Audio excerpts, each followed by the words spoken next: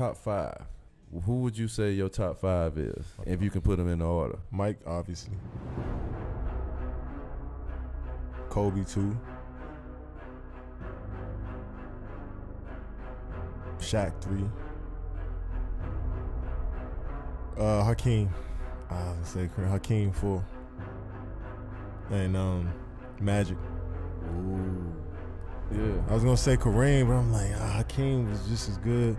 But Kareem, the No, I hook shot that debate. can't nobody do. No, yeah, it's timeless. Yeah, he was the most dominant easily.